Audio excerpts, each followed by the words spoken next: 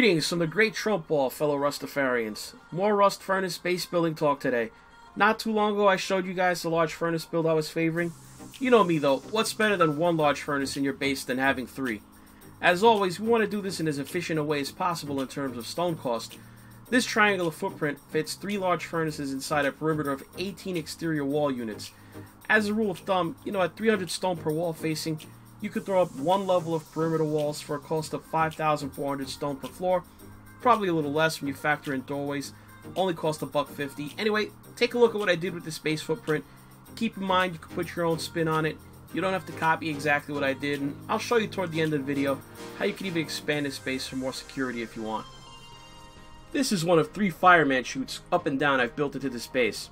If you've seen my videos before, you know the deal. Open doors block access to the ladder up, down is easy, you just jump and slide down the corner.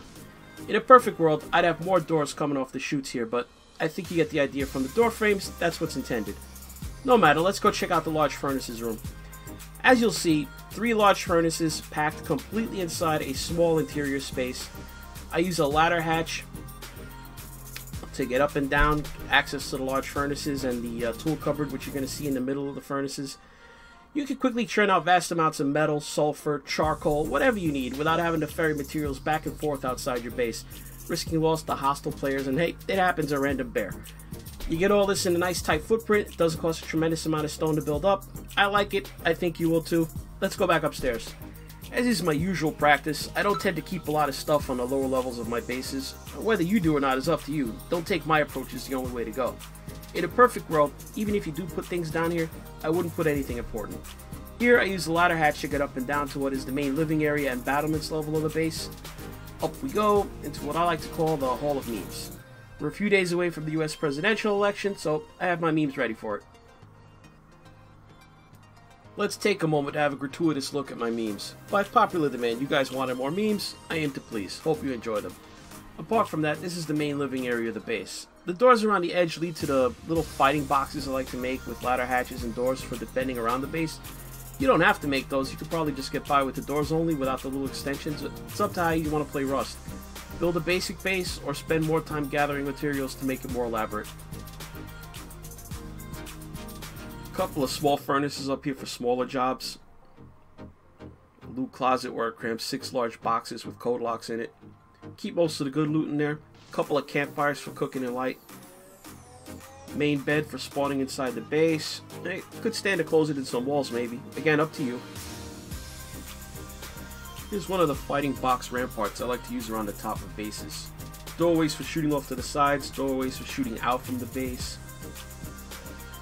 You know, ladder hatches for shooting straight down at the ground near the base. This particular configuration with four armored doors and two ladder hatches and with six code locks for them costs a little over 3,000 metal fragments, and obviously as a solo player, that's an investment. You may choose not to make that. For small groups and clans, it's less of an issue to farm up almost 20,000 metal frags to make all six of the fighting boxes I put in this base design, so up to you again. Three tool cupboards inside this base. There's one on level 5 here, and two more underneath it on level 3 and level 1. Stacking your tool cupboards is important to make raiders have to expend rockets in C4, finding upper level cabinets to build up inside your base. That way to gain access to cub if they gain access to the level 1 cupboard, they won't be able to build up to level 3 until they can get to the cabinet on level 3. You've seen the base, I guess it's time to show you the basic foundation layout so you can make the base if you choose. This one is pretty simple actually. It's your basic Illuminati triangle base. The only complication is you need to put down large furnaces before you close them in in the foundations. Best way to do it is to get them all nicely lined up. You start with a single triangle and place the first large furnace. You close that in with foundations and do the same with the second large furnace. Place it where it needs to be, then close it in with the triangles around it.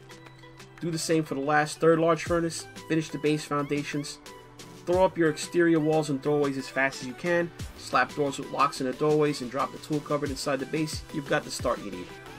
I recommend going up at least two levels before you start closing in a floor or roof so have enough stone on hand to upgrade 36 walls, what's that, about 12,000 stone? before you log off from starting this base.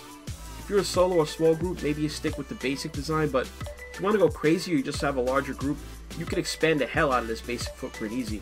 Let's have a look at some of what you can do. Like any base, you want to surround it on all sides with exterior tool cupboards first and foremost. After that, you know, why not add layers of double stacked walls around the edges? Use your imagination. Anyway, I think we've seen enough. Make the base, file it away for later maybe, or if you think it sucks, forget you ever saw it. What do you want me to tell you? Comment on the video if you have experience with large furnace bases. Please hit like if you enjoyed it, and if you're not already a subscriber of mine, do me a favor, hit that sub button too. Much appreciated. Until next time, ladies and gentlemen, this is KillCam, and we're done here.